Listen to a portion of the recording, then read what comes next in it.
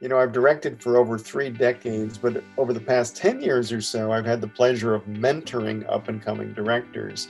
And one of the things I love talking with uh, young directors is not simply talking about the craft of directing, you know, for instance, where to put the camera, how to talk to actors, but how to comport yourself as a director, how to carry yourself in this business. And that's what really inspired me to write this book. But what I really want to do is direct, is those were the questions I don't feel were discussed in film school. I feel like over the course of my career, I've learned to let go of control, to not be so controlling. And as a result, uh, I, I often find that, you know, the, the scenes that, the, that result are full of wonderful, happy accidents, things that couldn't have happened had I maintained such a strict control over things. There were a lot of people at the outset who didn't think it was a good idea to make The Office. That the original British show was so acclaimed and so creatively bold. Like, who did, who were we to think we could replicate that kind of success?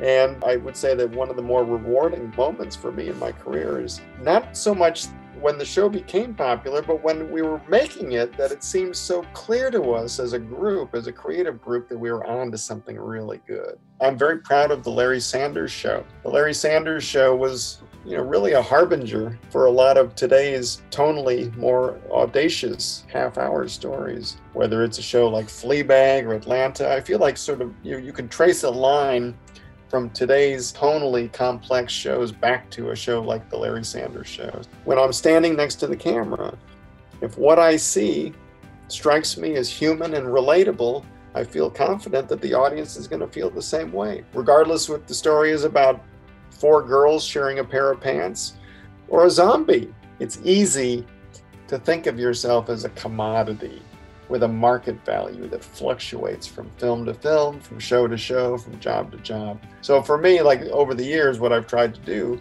is really, you know, not get hung up on how Hollywood defines success and, and figure out a way to measure it on my own terms. If you were passionate about telling stories on film or for television series, I have no doubt that you'll succeed. And I think it's, you know, it's a very difficult, it's a very competitive field. Uh, but I do think that passion, you know, wins the day every time.